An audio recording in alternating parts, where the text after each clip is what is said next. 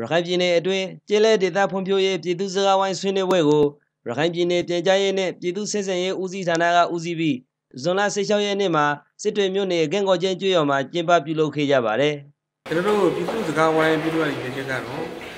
ဒီမိုကရေစီခန်းကဏ္ဍမှာပါဝင်တဲ့ပြည်သူနဲ့တောင်ရှိတဲ့အစိုးရဖွဲ့စည်းတွေကြား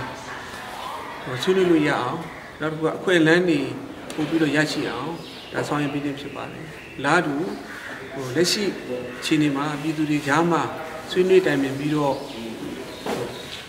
ပြည်သူတွေရဲ့ဉာဏ်ပညာတွေမြင့်မားလာပြီးဆွေးနွေးပွဲတွေမှာပါဝင်ဆွေးနွေးနိုင်ဖို့အတွက်ရည်ရွယ်ပါတယ်။ဒီစီမံကိန်းကိုအကောင့်ထေဖော်ဆောင်ရွက်ရတာကျေးလက်ဒေသနယ်တောင်သူတွေရဲ့လူမှုစီးပွားဘဝဖွံ့ဖြိုးတိုးတက်ရေးအတွက်အထောက်အပံ့တွေဖြစ်စေဖို့နဲ့တောင်သူတွေဖွံ့ဖြိုးတိုးတက်လာစေရေးအတွက်အခုအညီတွေပေးအပ်တော့ဖို့အစဉ်သင့်ရှိနေကြောင်း ခရိုင်စိုက်ပျိုးရေးဦးစီးဌာနကပြောပါတယ်လူမှုစီးပွားဘဝဘလို့နေရာကန်တာကနေပြီးတော့ဘလို့ထောက်ပံ့နေရတယ်လဲဆိုတာကိုကောင်းသူတွေကိုလက်တွေ့ပြကျင်တဲ့အတွက်ကြောင့်ကောင်းတဲ့ပေါ်ခြင်းဖြစ်ပါတယ်။ကောင်းသူတွေပုံပြတိုးတက်ဖို့ဆိုလို့ရှိရင်ကျွန်တော်တို့ဌာနကနေပြီးတော့ကျွန်တော်တို့တက်တဲ့ကျွန်တော်တို့တင်ကြတက်မြောက်လာတဲ့ပညာနဲ့ကောင်းသူတွေရဲ့အခက်အခဲတွေကိုကျွန်တော်တို့ကဖြည့်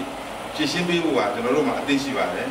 ။ဆွေးနွေးပွဲမှာ မွေးမြူရေးလက်ပံဆက်သွယ်ရေးစိုက်ပျိုးရေးစားတဲ့ကဏ္ဍတွေအတွက်ဆွေးနွေးခွင့်တွေရရှိခဲ့ကြပြီးအခုလိုဆွေးနွေးပွဲတွေမှာဒေသခံတွေအနေနဲ့အရင်ကမသိရှိခဲ့တဲ့အကြောင်းအရာတွေကိုသိရှိခွင့်ရရှိခဲ့ကြတဲ့အတွက်အထောက်အပံ့တွေဖြစ်စေတယ်လို့ဒေသခံတွေကပြောပါတယ်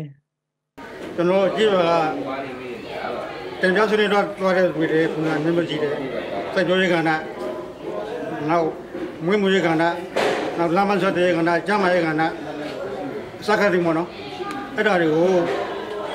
ထက်ဆိုင်ရာပုံကိုယ်တွေကလည်းဘယ်လိုဘယ်လိုလုပ်ပေးပါဘယ်လိုဘယ်လိုဆက်တွေပါဆိုပြီးတော့ပြောတာတွေရှိတယ်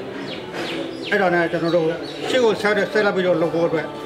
အထောက်အပံ့အကူအညီတွေရပါတယ်အများကြီးရပါတယ်ရခိုင်ပြည်နယ်အတွင်းအန်တန်တွေဂွစားရဲမြို့နယ်တွေမှာကျင်းပပြုလုပ်ခဲ့ပြီးစစ်တွေမြို့နယ်အတွင်းမှာပထမဆုံးအကြိမ်ကျင်းပပြုလုပ်ခဲ့တာပါ